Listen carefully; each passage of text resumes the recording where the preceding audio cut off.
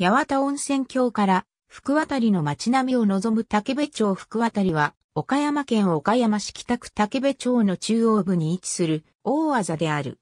旧久米郡福渡り村、福渡り、久米郡福渡り町福渡り、ミッド郡竹部町、福渡り。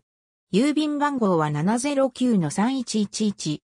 旭川の向かいは、旧備全国であり、津山街道の渡し船があったこと、岡山と津山の中間に位置することから、古くより、イコか岡山、戻ろか津山、ここが治安の深渡しと歌われた。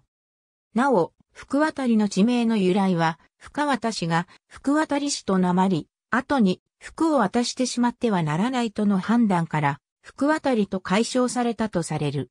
岡山市北区竹部町の中心地であり、旧美政国の南端にあたる。西側を旭川が北から南に流れており、それに沿って町場が形成されている。津山街道の宿場町として栄えた上野町、中野町、下の町のほか、福渡駅開業に伴い形成された、福渡商店街を有する旭町、栄町、その後に形成された緑町、錦町などからなる。